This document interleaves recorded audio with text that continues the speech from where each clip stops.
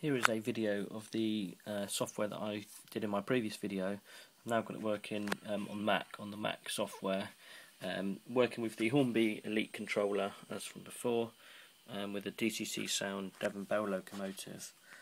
Um, you can see as I press the buttons on the Mac, on the computer, the train responds as well. So I can make the train move slightly, only on a small track.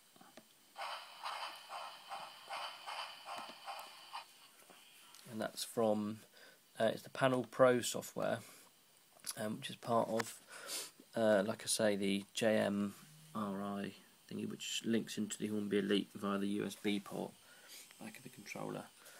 Um, yeah, it's a pretty good bit of kit, and its um, best thing is it is free. Um, it's also you can link in your iPhone and I believe Android phones as well to control the train from your phone, which I'll try and show you um, in my next video or on the end of this one if I can get it to work.